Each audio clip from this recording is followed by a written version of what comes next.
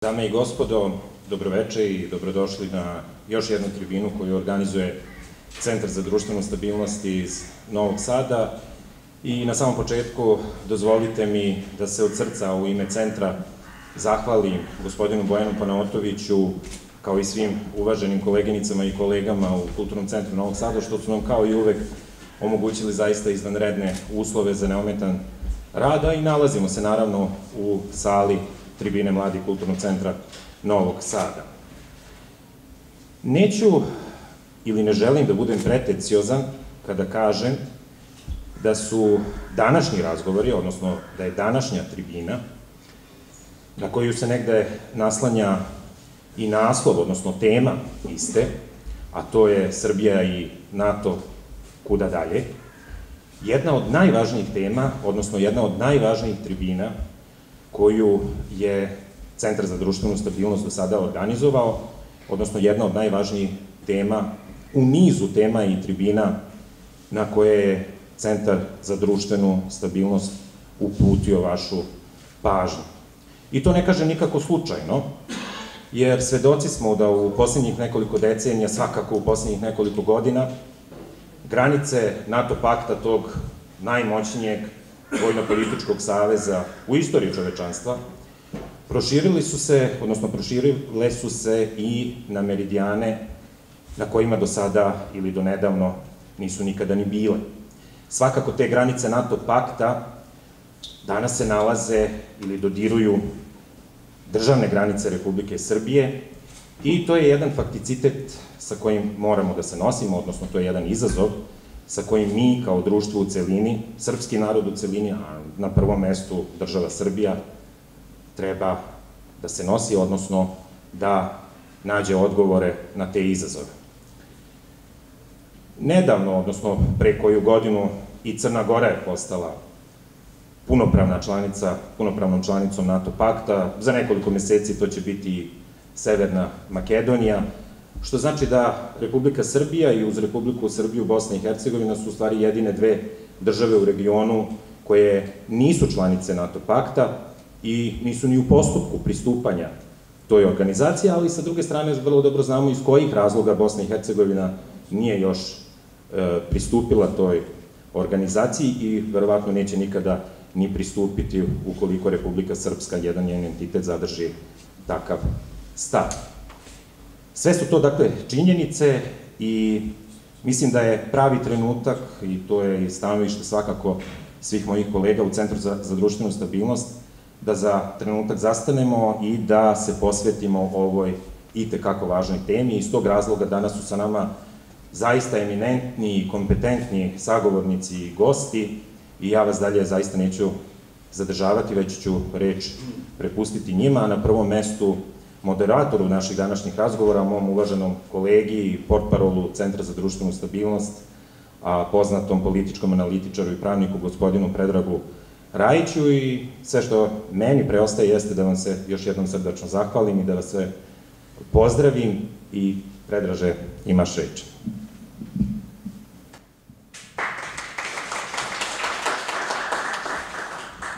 Hvala Ognjene. Zahvaljujem se direktoru Centra za društvenu stabilnost, istoričaru, političkom analitičaru, gospodinu Ognjenu Karanoviću na uvodu koji nadahnjuje. A rekao bih da je današnja tema sama po sebi više nego atraktivna, interesantna, a, tema koja je konstantna u Srbiji i tema o kojoj svakako moramo razgovarati ukoliko želimo da na pravi način shvatimo generalno društvene tokove u našoj zemlji, ali i na kontinentu na kom živimo.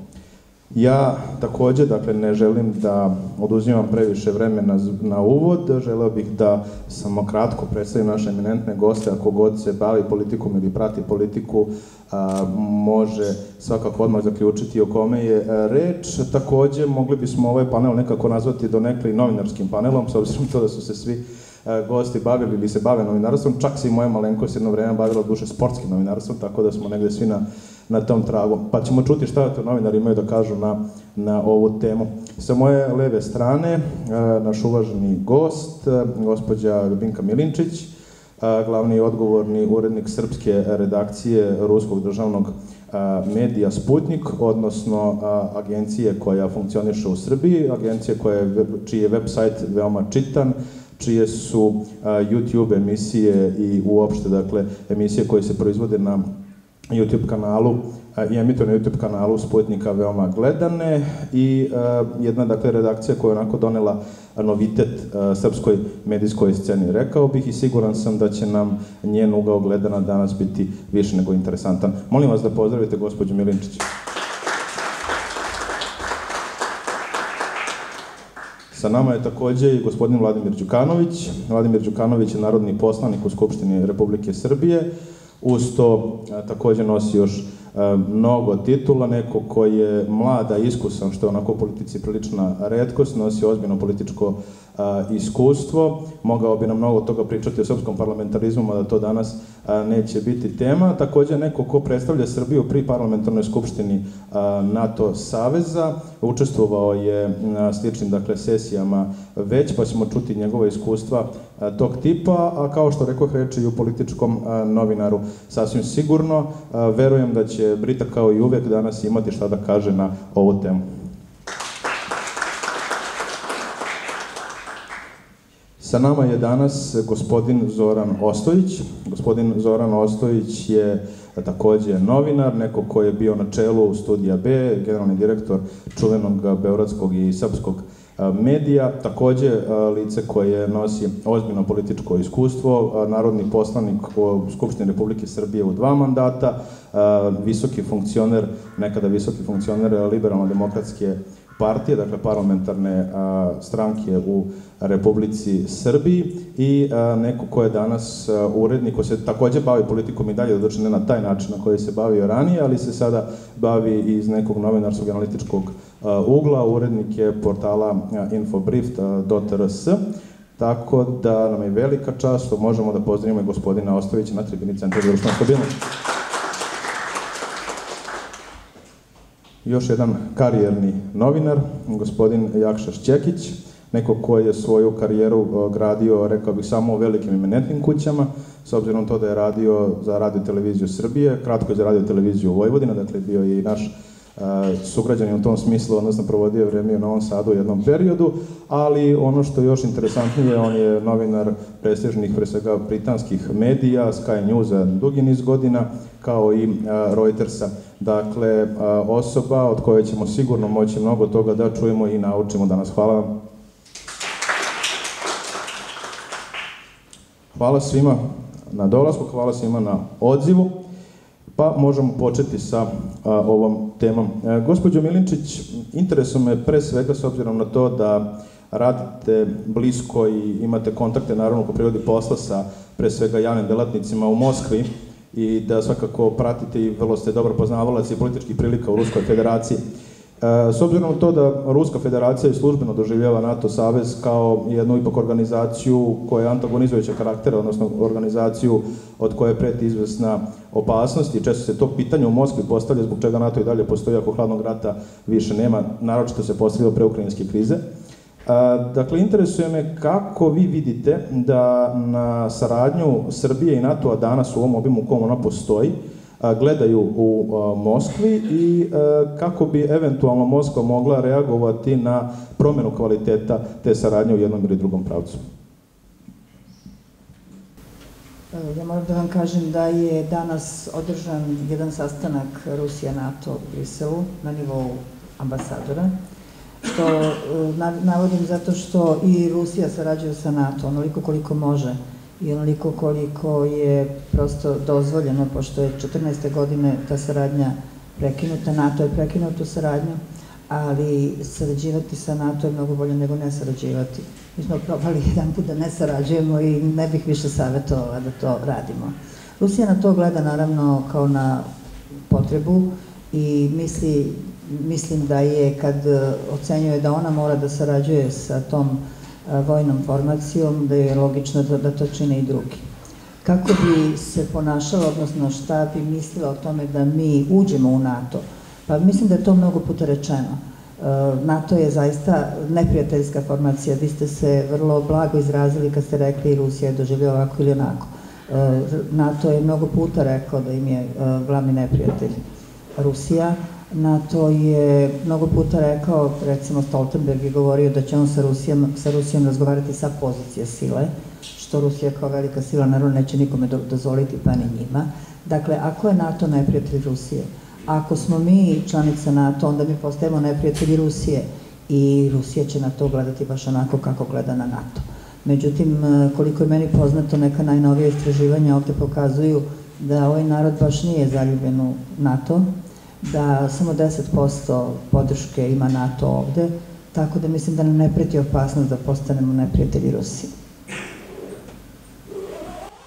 Hvala na preciznom i konciznom uvodu. Gospodine Đukanoviću, i vama bih mogao dodati takođe ovo pitanje, naravno ako imate šta da kažete, da, da dodate, budite slobodni, ali me interesuje takođe i vaš ugao gledanja, odnosno vaše iskustvo, s obzirom na to da ste predstavnik Narodne skupštine Republike Srbije pri parlamentarnoj skupštini NATO i da ste učestvovali, ako se ne varam, u Bukureštu, u Tbilisiju, na, na različitim a, sesijama koje, je, koje su bile organizovane. Kako generalno u Briselu gledaju iz vaših kontakata, iz vašeg ugla, kako gledaju recimo predstavnici NATO zemalja na stav Srbije, na stav Srbije koji je isti, iznosi se isti, isto svugde, dakle, to je vojna neutralnost, bilo u Moskvi, bilo u Briselu, bilo u Vašingtonu. Kako gledaju dakle, na taj stav i da li vam deluje da bi i ko možda unutar NATO saveza voleo da vidi Srbiju u, unutar članstva, pa čak i ukoliko bi to recimo bilo protivno volji većine građana u državi? Prvo se zahvalim što ste me pozvali. E sad, ja bih samo zamolio da, pošto ljudi ovde ne znaju, Ja, znate, to kad napišem član sam parlamentarne skupštine NATO, ljudi misle sad ste vi, ne znam, u NATO savezu, to nema veze sa, sa, sa mozgom, e, zato što Srbija ima i svoju parlamentarnu delegaciju pri ODKB-u, tako da ovaj, tako mi je zapalo, moja poslička grupa me odredila da budem ovde i idete na te parlamentarne skupštine. Sad ćemo imati 15. novembra u Halifaxu, u Kanadi će biti jesenje zasedanje i raspravlja se o rezoluciji vezanoj za Zapadni Balkan Mogu da kažem recimo da u poslednje vreme sve rezolucije koje donosi parlamentarna skupština, to su, ne, ne, ne mogu kažem prihvatljive, nego odlične po nas. Znači, savršene. Kao da smo ih mi pisali, ozbiljno vam kažem. Dogodilo se nešto, zapravo događa se nešto u poslednjih recimo dve, tri godine, što je primetno, a to je potpuna promena njihovog stava u odnosu prema nama. Naravno da to tendencijozno, jer oni žele da vam se približe na neki način. Onda recimo posebno zovu našu, našu parlamentarnu delegaciju da boravimo u Briselu, da dolazimo kod njih u sedište, pa onda e, dolaze oni ovde pa pokušavaju sa vama da razgovaraju na najfiniji način, pa kažu ne, ne, ne, nema nikakve potrebe, vi da ulazite, mi to razumemo kakva je istorija, ali evo, recimo gospođa Ros Gotemeller je bila toliko gostoljubiva prema nama da ona čak nas molila da im kažemo šta vi to nama najviše zamerate, mi hoćemo to sve da zapišemo, da bi mi to ispravili. Da... Znači, potpuno jedan drugačiji odnos gde e, prosto se kad odete tamo zapitate o čemu se radi, šta se to zapravo dogodilo. Ali naravno to je njihov interes jer oni ne žele, bez obzira što su svesni da Srbija svakako i zbog nasledđa koje imamo u odnosima sa njima i zbog naših veoma jakih izraženih veza sa Ruskom federacijom, gde nam stalno kažu mi potpuno razumemo vaše istorijske veze sa Ruskom federacijom. I zato mi vas i ne možemo ni da teramo da uđete u NATO spod. Ne možete da verujete, znači kakav je to pristup. A, o, ovaj, hoću da kažem da oni ne žele da im Srbija skroz ode iz njihovih ruku. Znači oni žele da nekako je imaju u sebi. I što je njihova, naravno, logika i veoma zdravo razumski to gledaju, malo preo gospođa Miličić je lepo rekla, mi kad smo bili u, u sedištu NATO u Briselu, naša kancelarija se nalazi do kancelarije Ruske federacije. Znači, kancelarija Ruske federacije u NATO, u sedištu NATO postoji, ne zaboravite da je Rusija bila članica programa Partnerstva za mir. Imala je svoju parlamentarnu delegaciju u Skupštini NATO-a, sad je to suspendovano zbog odnosa koji imaju, ali postoje odnosi na nižim nivoima i oni se i dalje susreću i tako da. Znači, naša kancelarija, ide, ide naša kancelarija, pa ruska, pa tu izraelska, čini mi se da i oni imaju isto, isto u samom sedištu NATO u, u Briselu. Oni e, neće svakako e, odustati od Srbije u smislu da, ne znam, Srbija bude prepuštena nekakvom eventualno odlasku neki drugi savez, to nemojte da imate nikakvu dilemu ali će ovaj, pokušavati sa vama da grade najbolje moguće odnose, da vam prilaze recimo IPAP sporazum, to je nešto što i nama koristi na kraju kraju. IPAP sporazum je nešto gde vi zaberete šta hoćete, na kom nivou da sarađujete i o tome se dogovoriti, imate vojne vežbe, na kraju kreva moramo da budemo iskreni. Srbija ima mnogo više vež, vojnih vežbi sa NATO-om nego što ima sa Ruskom federacijom, ali i to da, i to da ljudima razjasnimo, ima više zato što imate u pograničnom oko, oko vas su sve zemlje članice NATO, pa imate vežbu sa mađarskom vojskom, to se knjiži kao vežba sa NATO-om, ili vojna vežba sa ruskom armijom i opet je na neki način vežba sa NATO-om, zato imate mnogo više vežbe za, da sa, sa rumunskom, da. Ovaj, ja, ja se izvinjam. A sa, sa Ruskom federacijom imamo ovaj, drugačiji, dru, drugačiji vid uh, tih, tih vojnih vežbi, sve se to prati, sve se to naravno gleda i sa jedne i sa druge strane i zato je nekako naša pozicija vojne neutralnosti nešto što je najbolje. To moramo ljubomorno da čuvamo, jer jednima i drugima smo interesantni, a, svakako sa Rusijom je ovo mnogo bliže i prisni odnosi, moramo da tu vodimo računa prvo nas, e, prvo mi i da hoćemo, ne možemo da uđemo. Znači, nemojmo da imamo ikakvu iluziju, pre svega zbog našeg naoružanja, koje je apsolutno nekompatibilno sa NATO naoružanjem. Mi kupujemo, na kraju kraja kupujete migove, kupujete uh, raketne sisteme Ruske federacije ili Kine, sad što ćete kupovati, to je jednostavno ne možete s tim da ulazite u NATO. Istina za, istini za volju, Mađarska vojska ili Slovačka imali su migove, Grčka imali su migove, ovaj, ali su kasnije bili natrani, morali, su, morali da kupuju F-16-ice ili već neke, neke druge avione, tako da Srbija to ne može sebi da priušti, drugo, jako je to skupo, drugo mora da izvajate 2% budžeta za, za, ovaj, za ulazak samo u NATO svake godine. Unutar samog NATO-a imate, vi da vidite te, te rasprave na parlamentarnoj skupštini NATO, pa to je haos nad haosom. Znači, tu se ne zna ko šta govori, jer ove zemlje centralne Evrope su apsolutno u tom nesaglasju sa Amerikom, oni ne žele da plaćaju 2% e, tog budžeta, Amerika ih i tekako tera i sad se tu gleda ko će da ima prevlast, oni čak traže evropsku vojsku, što mislim da nikad neće zaživeti, i to ne na način o, evropska vojska nešto unutar NATO, ne, nego sa posebnom komandom, sa posebnim jedinicama, potpuno mimo NATO-a, što naravno ne verujem da će ikada zaživeti, ali ako i ostanu u NATO-u, a, nemojte da imate nikakvu dilemu da će Amerika gledati da ona bude tu primarna i da ona bude dominantna, zato što suštinski jeste najjača i najviše sredstva izdvajaju oni Velika Britanija. Prema tome, a, to će biti naravno veliki sukob između njih samih, a, politički, vojni, kakav god hoćete, ne verujem da će naravno ići dovoljno, ali politički sukob definitivno, tako da mi trebamo da razmišljamo kako da se postavimo a, i da naravno I morate još jednu stvar da vodite računa, to kad sad kažemo da li ste vi za ili protiv, morate da gledate šta je racionalno generacije koje dolaze, evo imate sad već situaciju da 18 godina pune deca koja e, nisu doživjela NATO bombardovanje. Punoliti su, idu da glasaju. Ti ljudi e, nemaju pojma ni šta je bilo NATO bombardovanje, šta to predstavlja, niti ćete vi sad njih sad moći da odbijete od NATO-a tako što ćete reći iz NATO oni su nas bombardovali, pa i sa Nemačkom smo ratovali pa su posle ljudi tamo da rade. Znači to je više besmislen pristup. Vremena se menjaju, menja se sam NATO, menja se Ruska federacija, menja se svako. Odnosi se generalno menjaju u svetu i shodno tome vi morate da vodite računa kako ćete se ponašati. Zahvaljujem gospodine Čukanoviću.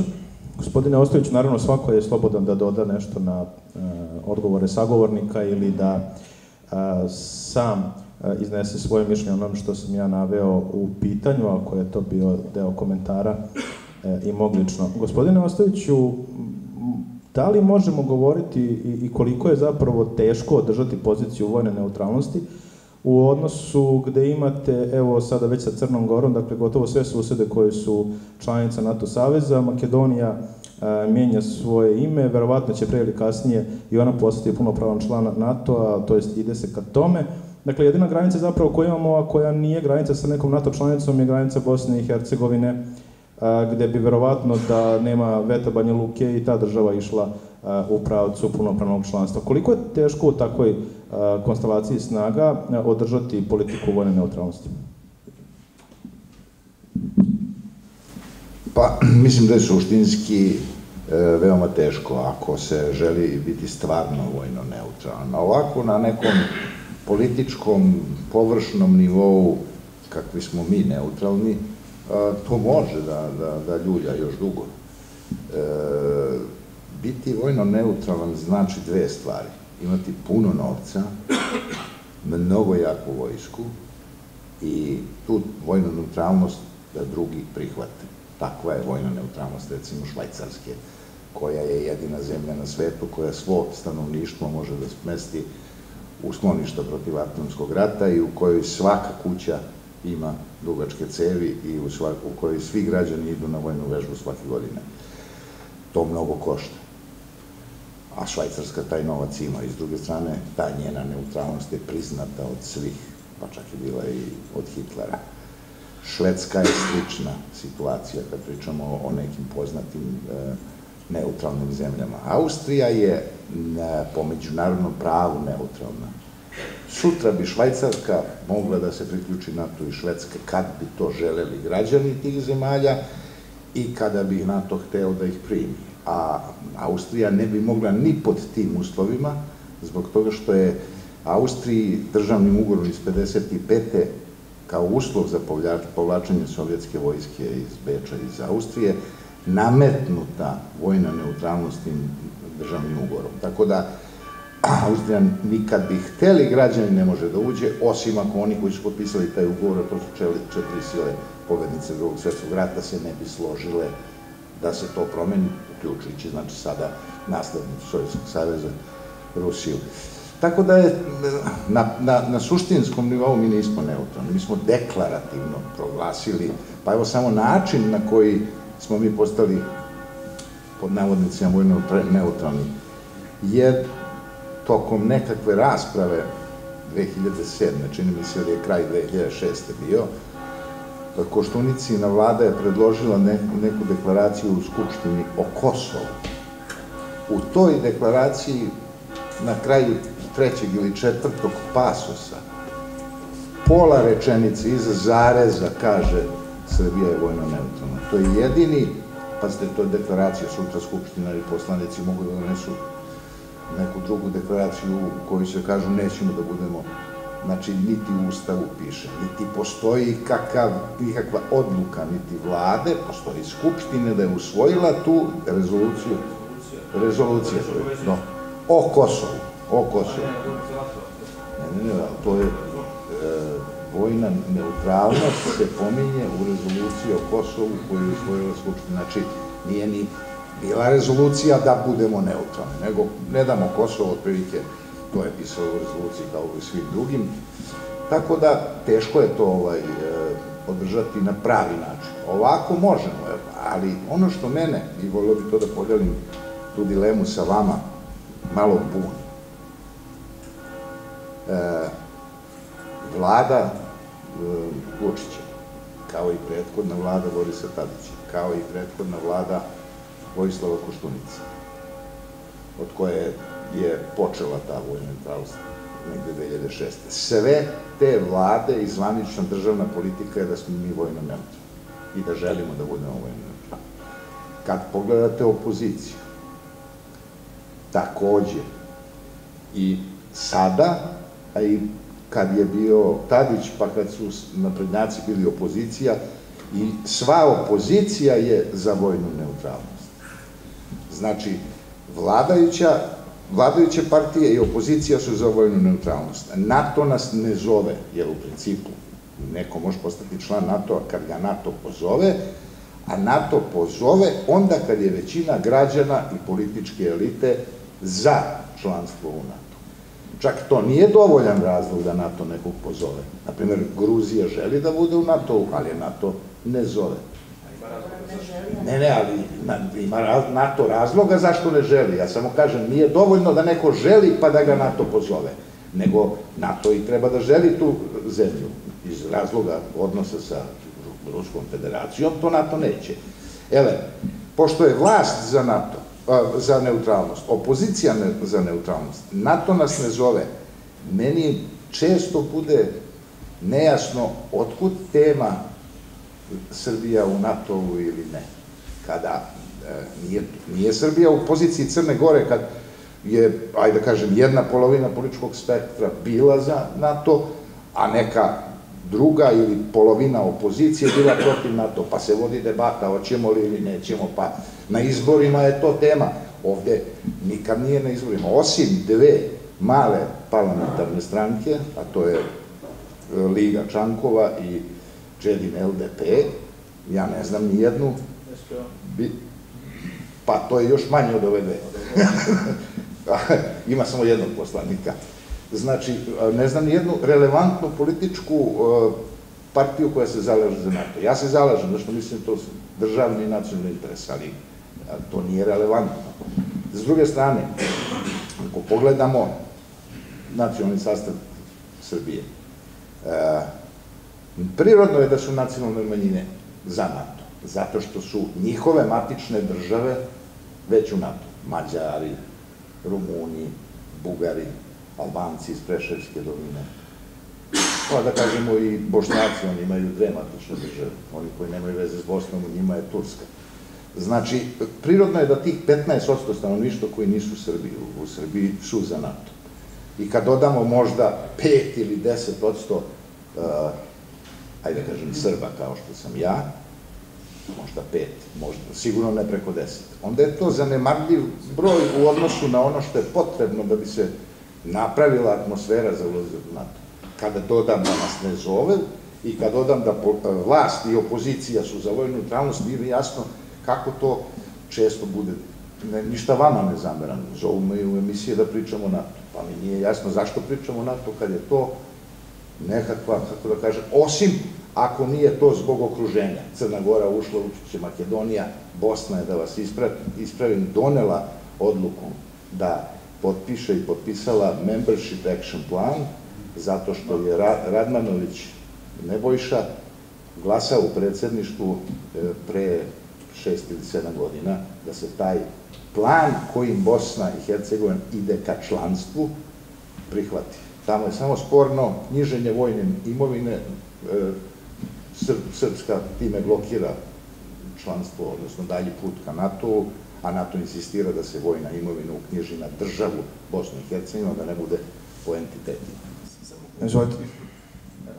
Kratke, samo dve e, ispravke. Mi imamo zakonsku obavezu da budemo vojno neutralni, nedavno je menjan zakon o odbrani i upečen je član, znači gde mi imamo, definišemo zakonsku obavezu da budemo vojno neutralni, tako da, eto, i to je negde na neki način stavljeno kao naša obaveza. Druga stvar, zašto NATO, rekli ste o Gruzija i recimo Ukrajina, one žarko žele da uđu u NATO, ali ne mogu da uđu, zato što NATO ima taj princip, koliko god sad to vama delovalo čudno, ali ima princip da ne prima države koje imaju nerešeni teritorijalni status. Gruzija ima ozbiljan problem sa Osetijom i sa uh, Abhazijom i čak i mi, i mi kad bismo recimo izrazili želju, što je naravno nerealno i nemoguće, ne bismo mogli da uđemo zbog Kosova i Metohije. Znači, tek kad rešite ceo teritorijalni status, onda vas prime da uđete u NATO. Tim pre moja dilema, kako da kažem, snažnije. A inače, oko zakona, pošto je to od onog polurečenice u rezoluciju ušlo u zakon, zakon se inače glasa, e, da bi se izglasao zakon, dovoljno je 64 glasa. Da ih je 126, pa većina od 126 je 64, prema tome vidite da i ta, taj zakon se lako može promeniti sa, sa 64 glasa. Doključujemo gospodina Šćekića, samo kratko. E, mi u centru prosto smatramo da svaku temu treba da razgovaramo, ovo je jedna od tema koje su konstantne.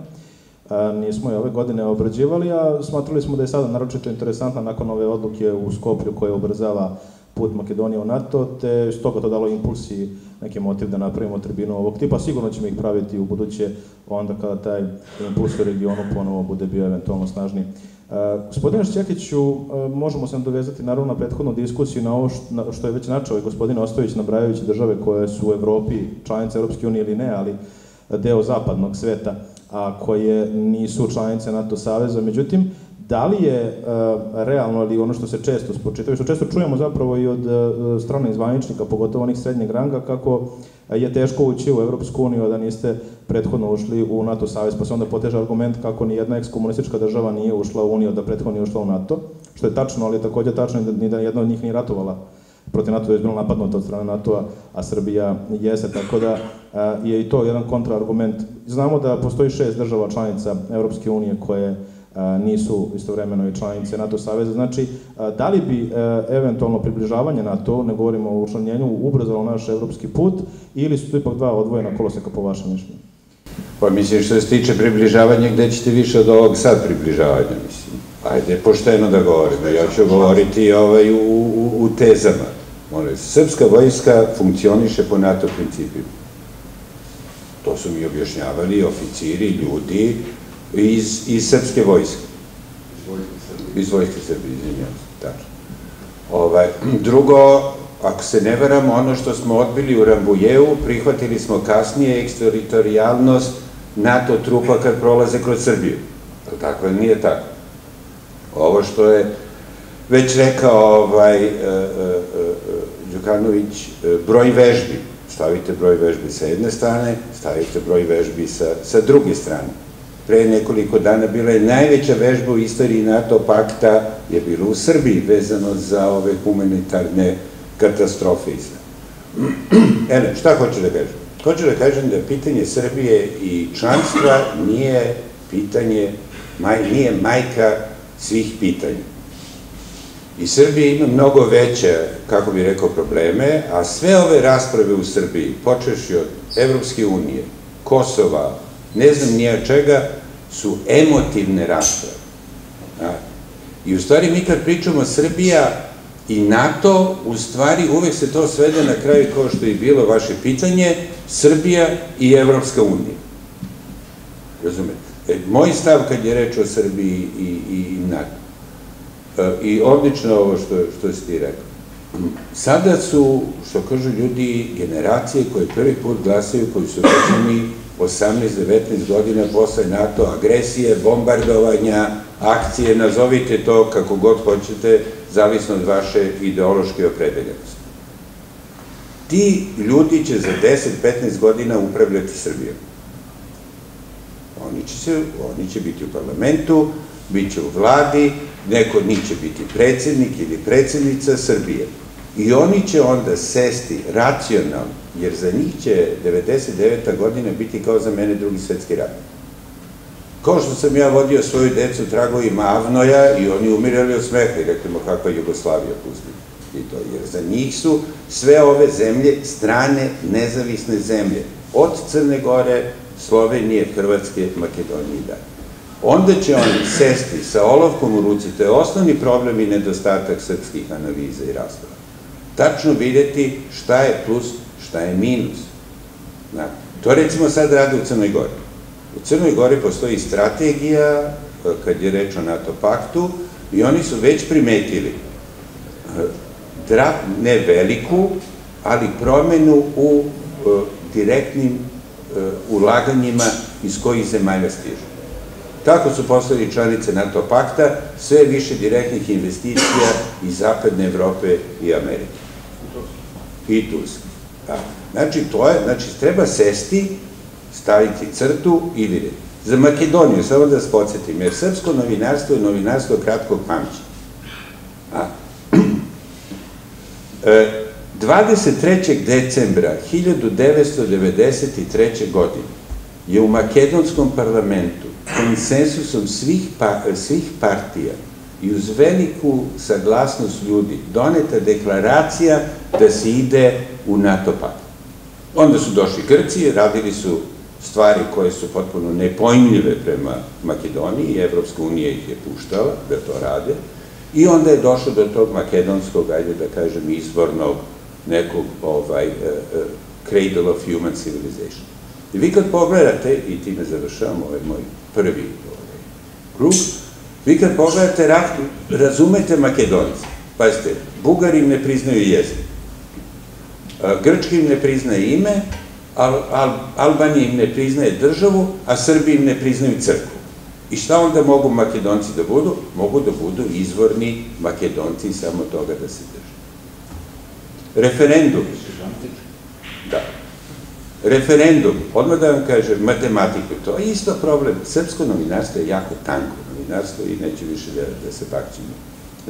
Referendum, tehničko-pravno, neobavezni, nije uspeo, nije izašao 51% i sve. U redu. Ali, kad uzmete olovku i vidite da je Zajev dobio 100 do 200 hiljada više glasova nego na izborima, da bi onda, znate da je prosečna izlaznost u Makedoniji 60%. Znači, to je negdje oko milioni 200 bi izašlo, on bi imao oko 400-500 hiljada, VMRO DPMNE bi imao manje i opozicija je shvatila. Ako ide na vanredne izbore, proći će lošije nego što su sad. E, znate, sve su to stvari kad se razgovara o regionu, To mora da se zna i zato sam ja uvijek za to da se sa olovkom u ruci gleda i da završi. Zašto? NATO pakt nema potrebe da juri Srbiju da se učuje. On je zaokružio Srbiju, jednostavno taj papirnov lonac više neće eksplodirati što njih najviše interesuje. Rešen je problem Skoplja i, i, i, Atine. Sledeće je rešavanje, što bi rekli, Beograda i Prištine.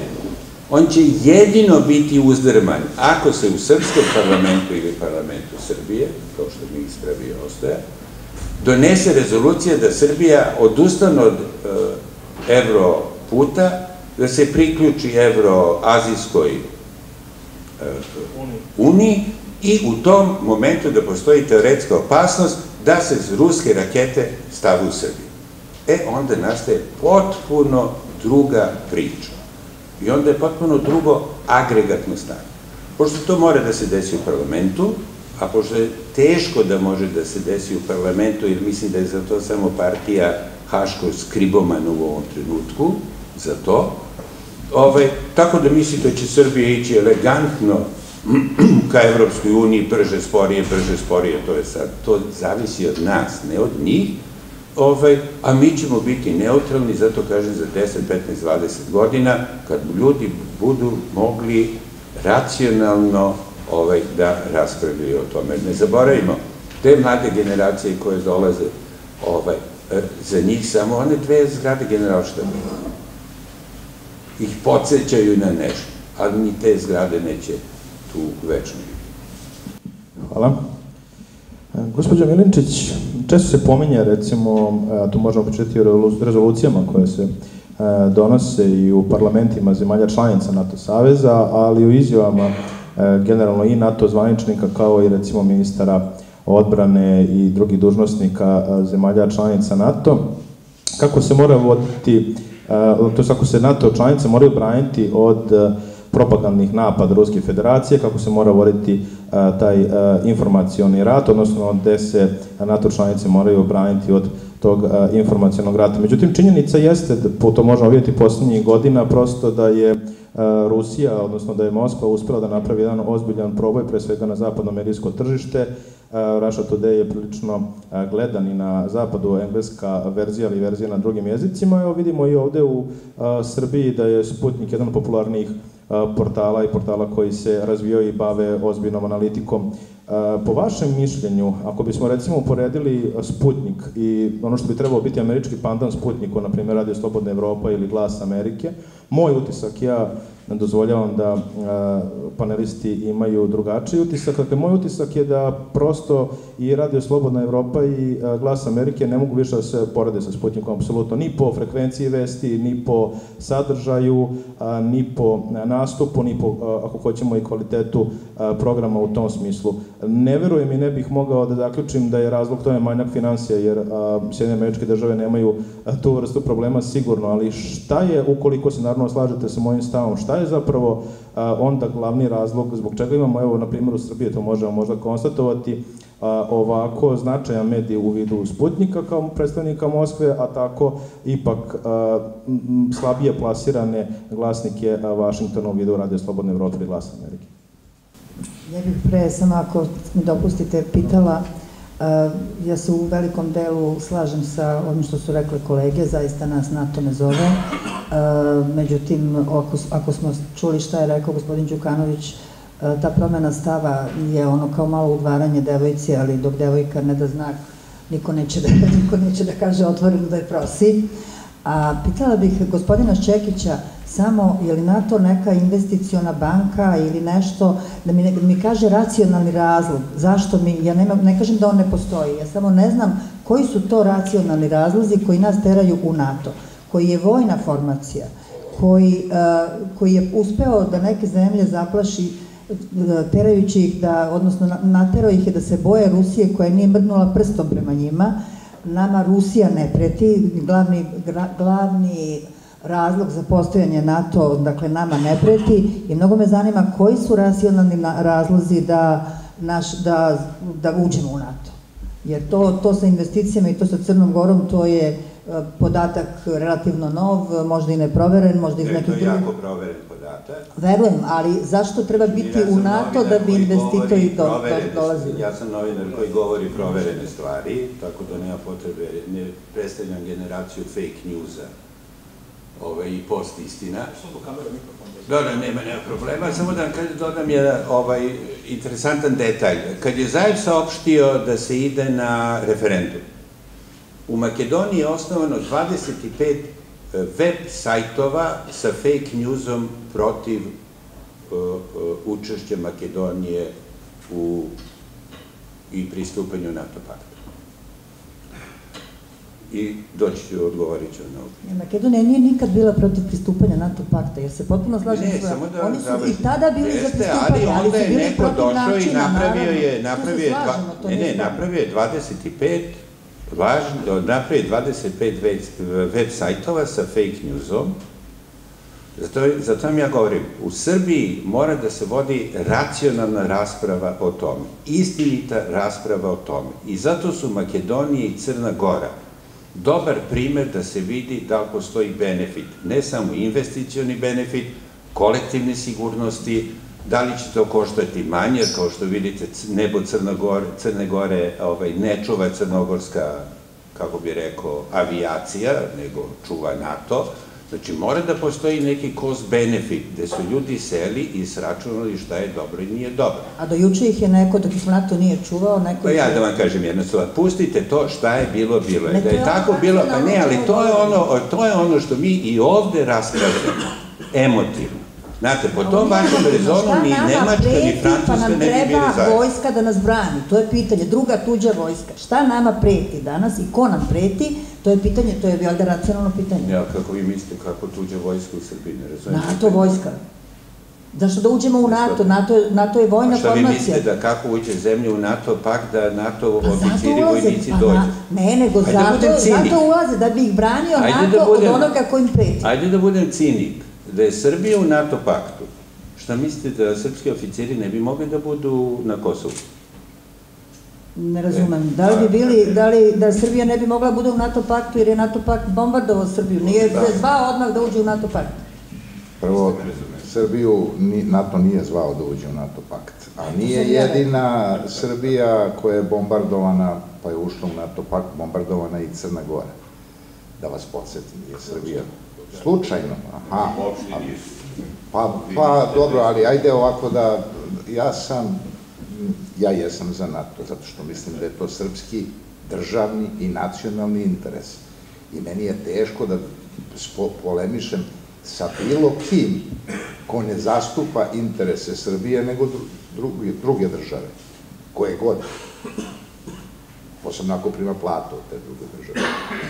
Ele, četiri grupe razloga su e, moji argumenti zašto je interes države Srbije da uđe u NATO. Prvi je politički. Da, sve bivše komunističke zemlje su ušle u Evropsku uniju prethodno ušavši u NATO. To što je e, nepisano, nigde to nema na papiru, a to što je bombardovana Srbija, bombardovana je i Crna Gora, pa je Crna Gora ušla u NATO, to nikakav razlog ne može biti. E, znate šta? Šta je još politički razlog? Pravo da odlučujete samostalno. Sad ću da citiram nešto iz Titovog vremena kad je, mada bi Jakša mogao to bolje od mene, pošto je stariji, Titova politika je često bila kao nesvrstana, ali tad je stvarno postojao neki nesvrstani pokret, a priznaćete da sad se beži od nesvrstanih. Hrvatska je, na primjer, posmatrač u tom. On postoji u nekim patrcima i ostacima. Evo, Mesić je išao tamo pa se šetao svoje vremeno, ali pustimo sa to. Tito je stalno govorio, mi sa Rusijom, Amerikom, Indijom, Kinom, šta god bilo, sa tim velikim silama, hoćemo da vodimo politiku međusobnog uvažavanja i poštovanja, ako nemaš poštovanje veliki prema malom, onda uvažavanje, ne mešanja unutrašnje stvari, dakle, da li će Srbija u NATO ili neće, to je stvar Srbije i nikog više. I NATO. i nikog više, nikog trećeg. Da li će Makedonija da uđe u NATO, to je stvar Makedonije i NATO-a, ne Srbije, ne Bugarske. Bugarske čak možda, zato što je Bugarska u NATO, što bi uopšte Rusija imala stav o tome da li će Makedonija da uđe. To u Titovo vreme nije bilo moguće, zato što je prvo bila druga Jugoslavija, drugi e, veća država, druga, drugi geopolitički hladni rat i tako dalje. Pristali su od zapada mi budemo nesvrstani, a da ostanemo komuni, komunistička, ali da ne uđemo u Varšavski pakt, a ovi su valjda pristali da budemo komunistička, ali da ne idemo dalje. Prema tome, politički razlozi, ravnopravnost, kad ste u NATO možete da budete ravnopravni. Evo vam primer, to je jedan, ali drastičan, ali nije jedin. Kad je se potpisivao onaj, oni ugovori o onom nesrećnom južnom toku, što smo mi poslanici rekli, ništa od toga neće biti, to je prevara, jer južni tok može da bude samo pod uslovima koje, kakav je severni, da onaj čiji je gas ne može da bude vlasnik većinski uh, cevi. Uh, tada smo mi dobili manjinski paket u tom južnom toku. Grčka, Italija, Hrvatska, Slovenija, svi su oni bili u južnom toku i trebaju da dobiju gas. Svi su imali veći procenat od nas. Mi smo imali manjinski, oni su imali 50-50 ili 51-50 za njih. Zato što su sve ove zemlje koje sam vam naveo u NATO. To su prvi razlozi politički. Evropska unija i ravnopravnost sa drugima. Drugi su ekonomski. Jakša pominje Crnu Goru. Ja sam pisao svoje vreme jedan tekst. Znači, direktne strane investicije u e, Baltičkim republikama, Rumuniji i Bugarskoj po ulasku u NATO, a pre ulaska u Evropsku uniju, ako se sećate ušte su 2004. u NATO, a 2007. u Evropsku uniju, rasle su bruto društveni proizvodi rasu između 25 i 75% u tim zemljama, da ne drži po telefonu, znamo otprilike cifre, u direktne strane investicije 2004. ili 5. su u Letoniji bile 294% veće nego pre nego što su ušli u NATO. Tih tri godine su neto efekat članstva u NATO, a ne i u Evropskoj uniji, na tim primjerima tih zemalja. Normalno, pošto naš predsednik države stalno priča o direktnim stranim investicijama, novim radnim mestima, što je tačno i što je ispravno i, i to jeste jedini put da mladi ostanu ovde, a ne da idu napolje. Jasno je da je ovo apsolutno blagotvorno za privredni rast članstvo u NATO, a nikoga ne ugrožavamo. Mi ako smo u NATO, od nas zavisi da li će neke rakete ovde biti ili neće biti. U Portugali nikakvih raketa nema, iako je članica NATO-a. Treći razlog je uslovno rečeno vrednostni. Znači, e, NATO nije samo vojna, nego i politička organizacija, vojno-politički savez, koji neguje nešto što se zove liberalna demokratija, e, vladavina prava, e, slobodna i otvorena privreda bazirana na privatnoj svojini i antifašizam. Moram da vas podsjetim da su NATO osnovale dve od tri pobednice u drugom svetskom ratu na najvećim zlom u 20. veku, na Hitlerovim nacizmom. Ali moram tu da sad ne služim s vama, znate, ako ga je antifašizam, onda bi ne bi sigurno Ukrajini podržavali Banderu i tamo čitavu tu ekipu ljudi, tako da taj njihov antifašizam, malo je to, malo je to bez veze. Ovaj, ali s tim moram da kažem i ovo za ekonomiju, evo tu gospodin Jakšiću nikako ne bi se složio sa vama, posebno mislim da je primer Crne Gore, evo i kad spominjete liberalnu demokratiju, posebno primer Crne Gore i Makedonije su jako loši primjeri za tako nešto, jer tu se vidi kako ne poštuju ni, ni slobodu mišljenja, niti bilo čega, jer u Crnoj Gori postiću vas nije ni bio referendum da uđete u NATO. A zašto? Što nekom smetalo da se narod izjasni. A u Makedoniji se dogodilo nešto što je skandal, svojevrsni skandal. Tamo je vođena kampanja, sam to strašno pratim, za referendum koje je trebalo da bude referendum o prespanskom dogovoru.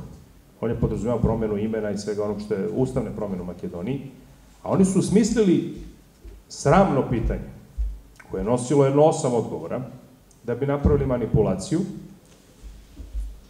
I onda je narod, pazite, vođena je takva kampanja da niste ni imali nekog protiv sebe. Znači, nije postojala snaga na, na, u medijima koja se suprostavljala toj kampanji. Narod je bojkotovao taj referendum. Masovno ga bojkotovao i time pokazao, ne, ne želimo da promenimo ime, nećemo prespanski sporazum. To je njihovo pravo. Šta se dogodilo? Na najbesramniji način, na ponoćnim sednicama Sobranja, kupuju se direktno poslanici, američki ambasador sedi u Sobranju, ucenjuje poslanike, neki iz zatvora čak dovode. Ovo jednoj poslanici su sina držali u zatvoru, pa su rekli bit će oslobođen ako, ovaj, ako glasaš. I njih osam direktno kupe.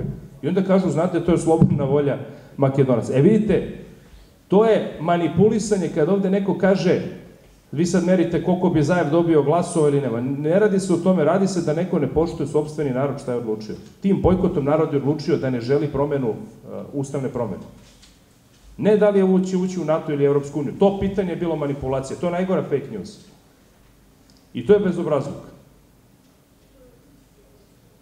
I nije tu nikakva Ruska federacija, niti bilo ko utica. Znate, mi smo dolazili, evo ako već govorimo o tom ruskom uticaju, nama su pričali na tim parlamentarnim skupštinama kad odemo neverovatne stvari. Oni su osnovali tri ogromna centra, su ne znam koliko milijardi dolara, dali po Evropskoj uniji gde se bore protiv hibridnog rata koje vodi Ruska federacija protiv njih.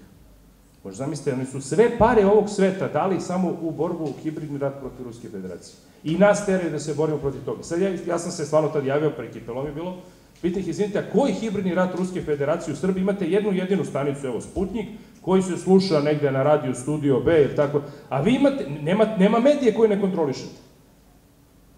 Ili recimo odnos sa Russia Today.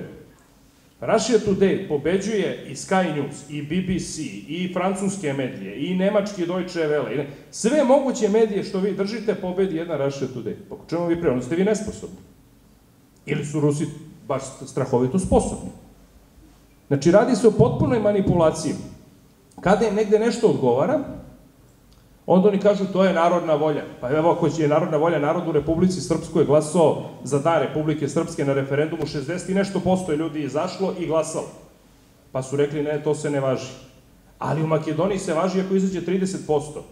A prethodno su nam vodili kampanju kako je to najvažniji referendum u Makedoniji, za istoriju Makedonije, za ne znam šta. I narod kad je onda odbio to, time što nije izašao, onda su rekli nije ni važan referendum, onako je bio samo konsultativni. E vidite, to je, tamo, to je to manipulisano. I to nervira ljudi. I to iritira ljudi. I oni će dovesti upravo s takvom, takvim ponašanjem. Dovešće te ljude u Makedoniji koji suštinski nisu protiv ulazka u NATO, niti u Evropsku uniju, da se ne lažemo, većim delom oni preferiraju da. Dovešće do toga da upravo što im ne poštuješ volju, ljudi počnu da to ne vole. I imaćete sve žešći otpor da Makedonija uđe u NATO. Ja nisam siguran da je ova igranka tamo tek tako završena. Jer ne možete na silu, time što ćete da ambasadora jedne zemlje dovedete u sobranje da ucenjujete poslanike, ne možete na silu da naterate da, da nešto uspe. Na kraju kraju, samo i Grčkoj pitanje kako će se to završiti. Ja verujem da će se na kraju ipak završiti da i oni promene ime i sila Boga ne molimo. Ali ćete imati strahovit otpor u ljudima i to je pitanje legitimiteta, to je nešto najvažnije. Kad vi legitimitet ne uvažavate negde, kad ta ćete to izgubiti.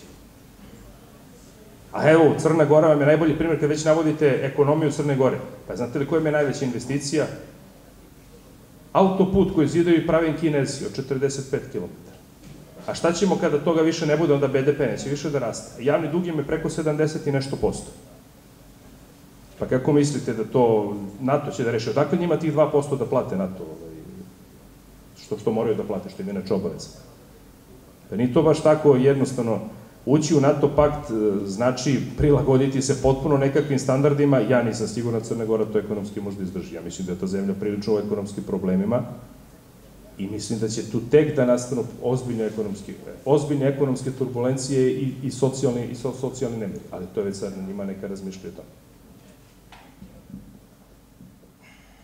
Hvala na sadržanoj diskusiji u ovom drugom krugu. Ja bih se ponovo vratio na ono pitanje pošto smo otišli malo u drugom smeru koje sam probitno postavio, to je upoređivanje Sputnika i, Raša, i Slobodne Evrope, interesuje me mišljenje svih, a takođe me interesuje ako biste mogli da dodate tome i ovo što, o čemu je gospodin Ćukanović govorio, te optužbe za hibridni rat, koliko su po vašem mišljenju utemeljene i koliko te optužbe zapravo imaju dakle, neki, neki osnov, a sa druge strane, da li na koji način je moguće uopšte danas uticati na javljanje, svakako da jeste putem i društvenih mreža i putem masovnih medija, Međutim, nije li put upravo ono što vidimo i na zapadu, a to je da se svi stave na tržište prosto i da građani konzumiraju ono što im je negde najpreče i što bi najviše želeli, gde se gubi možda ta granica između demokratije i slobode mišljenja i borbe protiv onoga što se danas često pominje, a to je ta borba protiv lažnih vesti.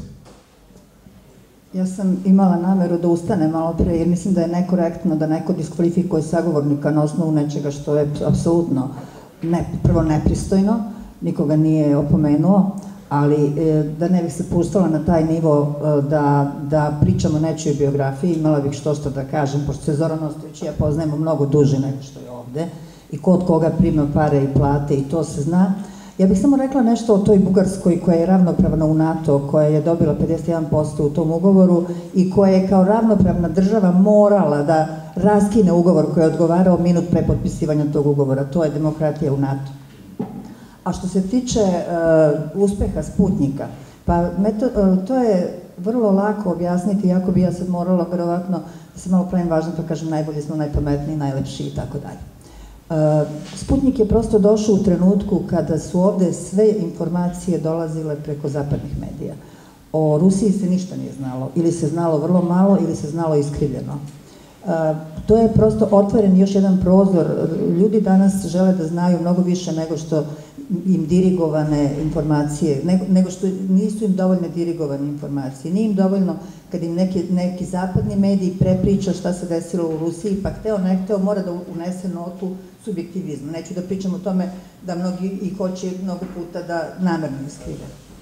Pojavile se direktno vesti iz Rusije, pojavile se direktno vesti iz Sirije. Sirija je upravo bila jedna od tema kojom smo se mi svakodnevno bavili, a tamo nije bilo stranih novinara. Sve vesti o Siriji mi smo dobijali preko nekakve londonske observatorije u kojoj je radio jedan čovek i izveštavao iz Sirije. Rusija je bila tamo, ruski novinari su bili tamo, mi smo to prenosili. I to je prosto, prosto ne, može se, ne može se sprečiti u današnjem svetu. Pazite, mi imamo sajt. Sajtova u ovoj zemlji ima, znate koliko, a ako kažemo u svetu koliko ih tek ima. Sputnik se vrlo brzo izdvojio, jer je govorio nešto drugo.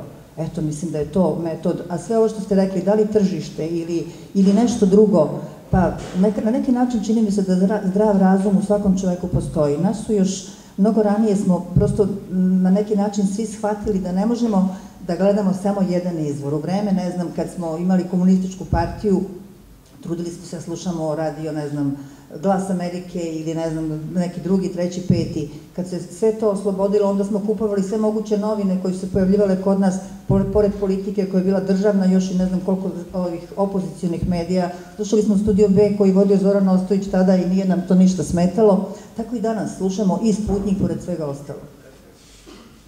Hvala. Volio bih naravno i da, da nastavimo a, sa diskusijom. Tom planu samo apelujem naravno na sve učesnike panel diskusije da ne idemo na teren ličnih diskvalifikacija, nego da govorimo o temi koja nam je bitna, jer nas sve ovde u principu interesuje odnos Srbije i NATO saveza, a manje nas u principu zanima a, zaista u tom smislu, dakle, biografija bilo kog učesnika. Ja sam predstavio sve učesnike na taj način i mislim da a, smo počastvovani prisustvom svakog od vas A, gospodine Đukanoviću, na ovo pitanje, pošto se i bavim novinarstvom takođe, dakle, interesuje me gde se gubi ta granica između demokratije i slobodnog tržišta, ali bih još uh, nešto dodao. Uh, pričali ste i govorili ste o tome da mlađe generacije ne pamte uh, bombardovanje, međutim, postoje to nešto se zove kolektivna svest i koliko je u duboko u srpskoj kolektivnoj svesti, po vašem mišljenju, urezana NATO agresija 99? Ma nije sporno da postoji kolektivna svest i mene otac ovaj, na kraj kreva učio kao malo i kom je pobio familiju i u drugom svetskom ratu i i da mi prade da nikada nije pronađe ga Ustaše zaklale u Gospiću i dedinog brata u Jasenovcu i tako, ali, znate, život ide dalje. taj mladi čovek koji se rodio 2000. 2001. godine ne želi više da razmišlja o tome hoće da ide napred, prosto razmišlja kako da, kako da ode u tu neku Nemačku ili u Francusku ili u Ameriku ili u Rusiju, nije ni bitno, znači on gleda kako da ima mir, mir, mir ovaj, na novim, novim prostorima. I sigurno će drugačije gledati na odnos prema NATO-u nego kako ga mi imamo danas. A kad već govorimo o manipulacijama i tom odnosu, pa ne, ali prosto je neverovatno, mi sad imamo jednu horsku kampanju kako Ruska federacija ima fake news i osniva portale, ne znam šta, pazite, to vam priča neko ko je izmislio Račak, na primjer. Markal, Vasim Iski na ulicu.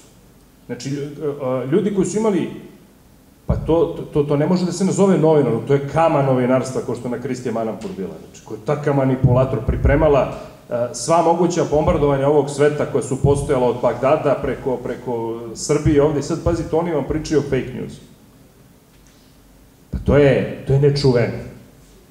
Jedan Russia Today pobeđuje kompletno sve moguće medije ovog sveta, CNN ili ne znam šta. Pa da li je to moguće? Da, da, li to, da li to realno? Da li to neko može da zamisli? I onda, pazite, osnivate, šta oni zapravo rade? Oni drže e, svoje stanovništvo u nekoj tenziji. Kako se vodi nekakav hibridni rat protiv ne znam čega i sad svi moraju da ulažu ne znam kolike milione evra da sprečavaju, se, da sprečavaju hibridni rat. E vidite kako tad nema slobode informacije, tad nema tržišta, tako?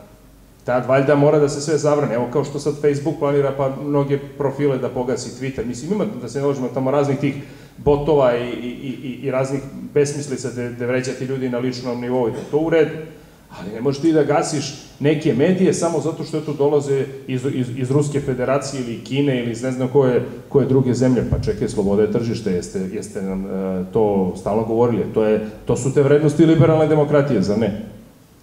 Po čemu to onda zabranjuješ Russia Today da negde radi?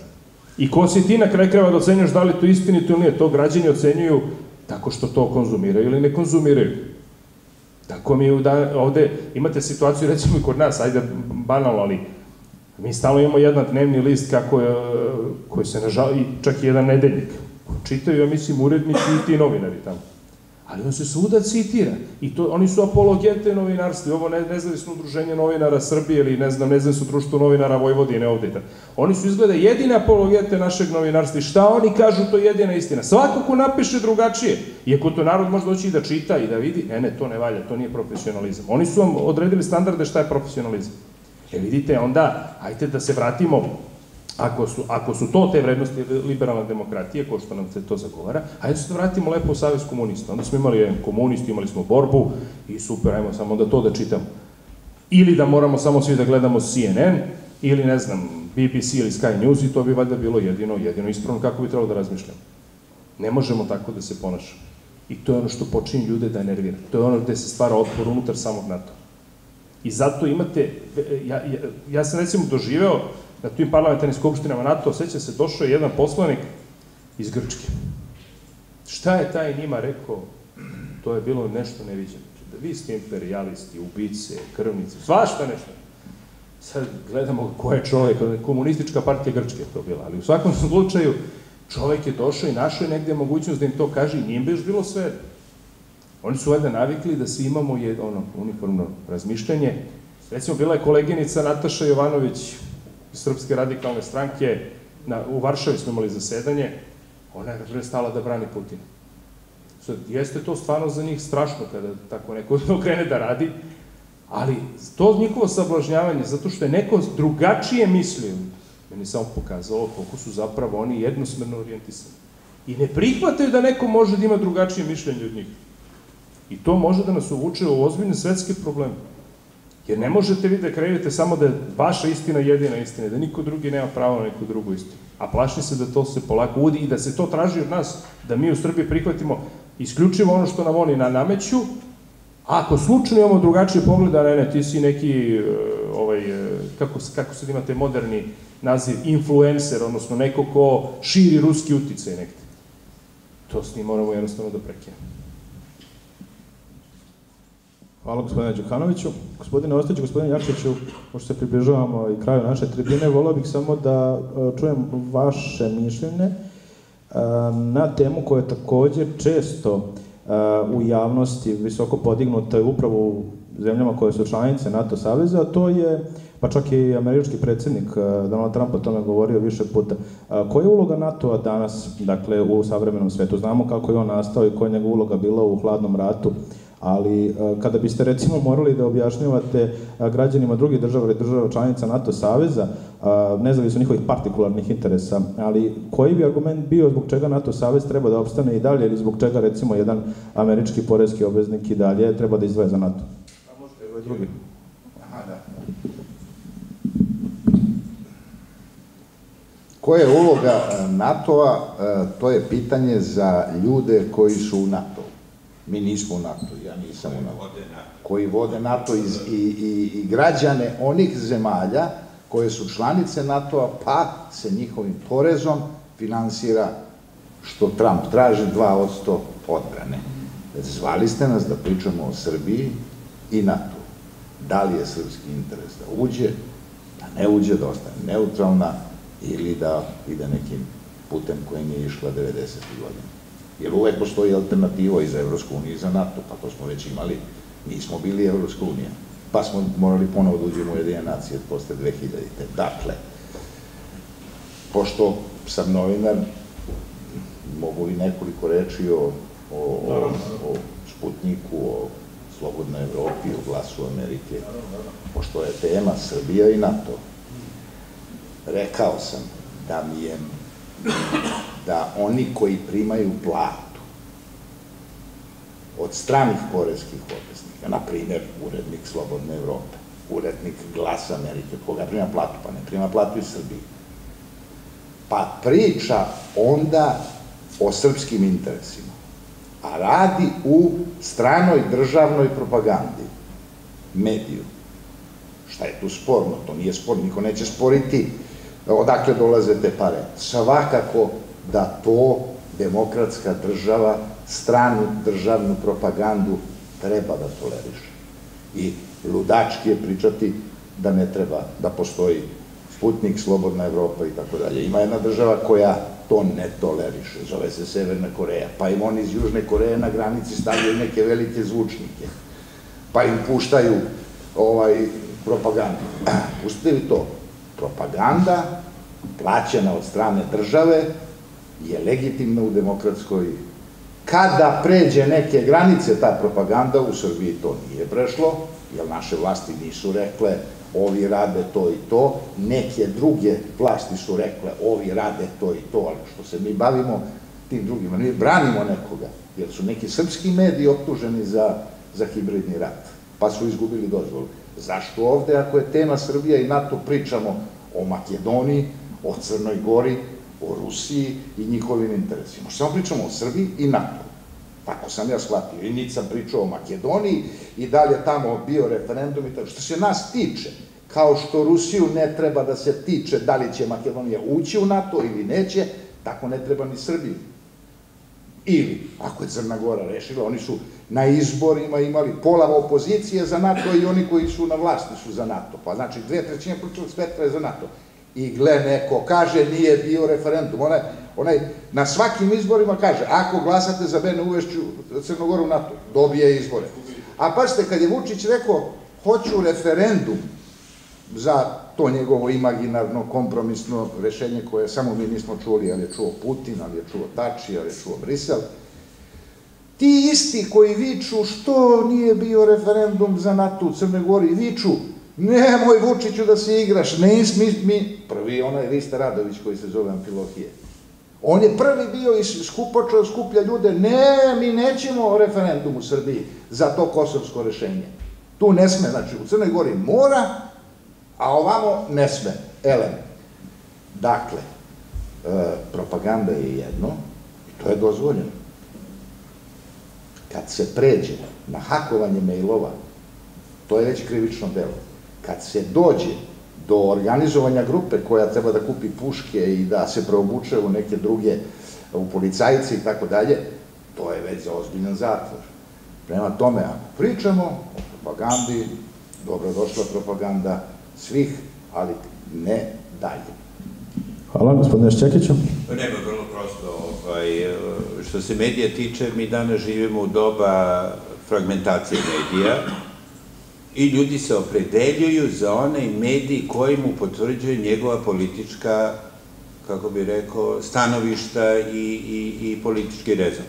Znači, neko će da sluča ovaj, Sputnik zato što misli da je to njegova politička orijentacija i dobija e, potvrdu, u stvari dobija potvrdu da je on u pravu da tako misli, jer evo misli i drugi, To misle stvar zato, a neko čita informer, zato što ono što pročita u informeru dobija potvrdu svojih stavova, neko čita danas, neko čita vreme, i tu mi sad živimo u tom društvu i to će tako biti od sada, pa ne znam, to je sasma normalno da živimo u tom vremenu.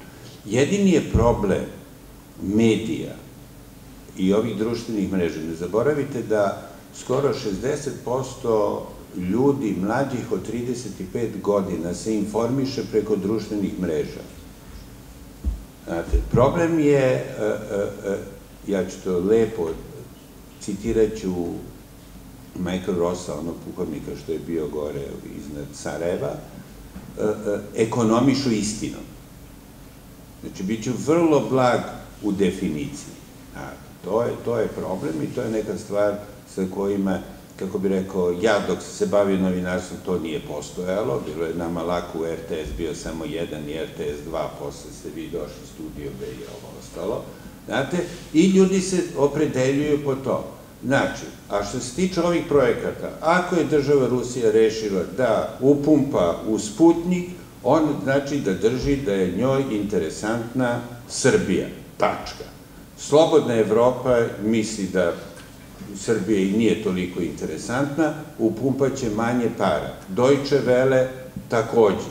Znači, sve zavisi gde, gde je kome veći interes da bude. Sigurno da su Rusi, ali vi to, Ljubika, mnogo bolje znate, zainteresovani da Srbija ne uđe u NATO, pošteno.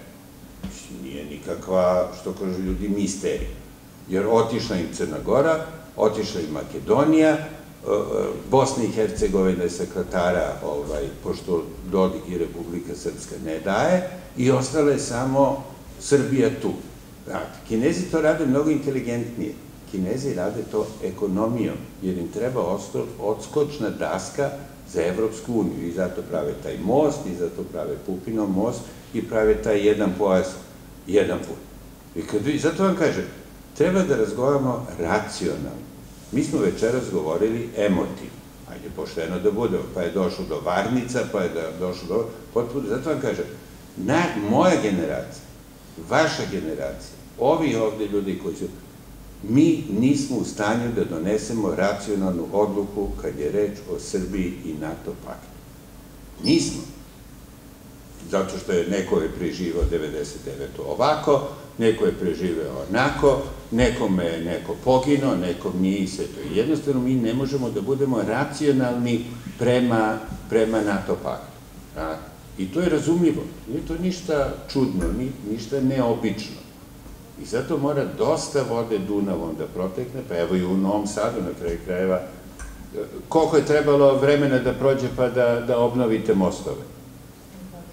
E, I vi sada kad dođete u Novi Sad i kažete, znate, Srbija treba da uđe u NATO, pa, razumljivo je da će ljudi biti protiv ili svega 11% za. Zato vam kažem, ostavimo to narednim generacijama koje će lepo sesti, polako, na tenane, a drugo, ono što ja stalno tvrdim, ovo je nametnuta tema. Ovo je nametnuta tema da Srbija ne razgovara mnogo ozbiljno Srbije i Evropska unija, Srbija i Kosovo.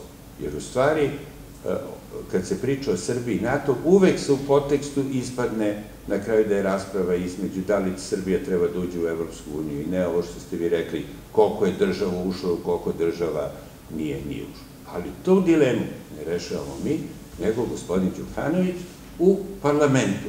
Ako oni ljudi u parlamentu odluče drugačije, na izborima dobije stranka koja misli da treba da idemo u Evroazijsku uniju, ja koji ću glasati normalno za Evropsku uniju, ja ću to da prihvatim. Mislim, vrlo prosto. To je demokratija, to je, znate, mislim, to je realnost u, u, realnost u Srbiji. I mislim da mi treba da spustimo strasti i ozbiljno da pričamo međusobno, a ne kao ko je gledao upitnik sinoć. Mislim, ko je bio sve, izvinjavam se što iskačem iz teme, samo nije bila ozbiljna rasprava. E, znate, to za Srbiju nije dobro. Hvala. Ništa, ja samo da kažem da će centar nastaviti da kandiduje, ne da nameće teme, uz među ostalog i ovu. Naravno, mi smo već inače imali teme koje se bavile Kosovom i Metohijom, Europskom unijom ove godine, tako da ćemo nastaviti sa šarolikim temama i do godine. Gospodin Đukanoviću, samo uh, uh, kratka digresija i da imamo vremena za pitanja. Sa, samo kratko, a, go, da. Gospodin Jakšiću, samo bih vas zamolio, ne može parlament da odluči da ćemo da uđemo u Europsku uniju ili NATO. Mislim, Pa dobro, može, ali, ali samo bi, da, ja sam pristalica zaista da o takvim važnim stvarima isključivo narod na referendum odlučuje. E sad, da li će se tu uključivati emocije ili ne, prosto to je nešto što je sasvim, sasvim desno, ali to, o takvim stvarima mora narod. I ono što moram kažem, vi ste sad malo pre rekli, a, šire se, ne znam, fake news preko, fake vesti preko Facebooka, Twittera, ljudi, tačno je, ali se te, te društvene mreže su osmišljene u Sjedinjenim američkim državama, i Facebook i Twitter. Ne možete da jednima dopuštate da mogu da šire nešto, a drugima da zabranjujete. E, a mi, sad se upravo ide na to, pošto je bilo pred američkim kongresom je bila velika rasprava, ja moram da inače čestitam, pošto sam pratio malo tu raspravu, ako je zaista Ruska federacija uradila ono što je uradila, a što se tu priča, recimo da je, da detekcijom 120 miliona ljudi preko Google mapa u Sjedinjenim američkim državama došla do njih da im pošalje poruku, recimo u kampanji između Trumpa i Hillary Clinton, a to je zaista maestralno, pošto sam pratio kako je to, to je svaka čast Ruskoj federaciji, kapa dole. Znači, oni su pronašli način kako da dođu do birača, da navodno pošalju da je to iz Trumpovog štaba, ali to je genijalno neko osmišljio, izvinite, te Google mape i sve su osmišljene u Sjedinjenim američkim državama, neko iskoristio njihovu platformu. Ako je to zaista tako uradio. Prema tome, a, a, patina ima dva kraja. Ako si nešto osmislio da preko toga nadgledaš svet ili da kontrolišeš informacije, pa neko si drugi dosetio, pa ti je doskočio. Prema tome, to je tako u svetu. Ja moram samo da dodam da sam ja veliki protivnik referenduma. Imaćete prilike samo da, evo, nekoliko pitanja, Mogu pa ja ćemo... samo Da, dve rečenice. Recite. Referendum ili, ili, ili odluka u parlamentu. E, suštinski, e, dve organizacije, Evropska unija i NATO, su, su prilično različite. Kada ulazite u Evropsku uniju, vi predajete drugima deo suvereniteta. Odričete se dela suvereniteta. Kada ulazite u NATO, ne odričete se. E, jednoglasno se donose odluke. Ako donesu odluku da šalju, ne znam, vojsku u neku zemlju, onaj ko neće da šalje vojsku, ne mora da šalje vojsku. Hrvati su, menjajući ustav, stavili jedan a, član antijugoslovenski, tako da kažem, u strahu od neke pritiska za neku novu Jugoslaviju, oni su u Ustavu napisali ako se predaje deo suvereniteta, mora referendum. Ako se ne predaje, onda ne mora. Tako da su za NATO odlučili u Saboru, sa jednim glasom uzdržanim od, od svih, a za Evropsku uniju zbog takvog e, anti, antiintegracionog e, č- člana Ustava morali su za Evropsku uniju da idu na referendum. Možda zbog iskustva koje smo mi Hvala. imali, možda bi, ja ne bežim od toga da je i članstvo u NATO, ako do toga dođe u budućnosti, rekao sad je, svi su protiv NATO, sem Čede i Čank. Hvala. Moramo, moramo da se zahvalimo i direktoru Kulturnog centra gospodinu Bonova Panotoviću na a, prilici da održimo ovu tribinu na ovom mestu po a, ko zna koji put već, dakle, zaista jedna plodonosna saradnja, a ispoštovanje upravo prema direkt- direktoru Kulturnog centra Bojanu Panotoviću i ispoštovanje prema ovoj instituciji, s obzirom to da posle nas imamo novu tribinu, odnosno organizuje se nova tribina, moramo ovo privoditi kraju. Kratko samo da vidimo da li imamo nekoliko pitanja publike. Izvolite.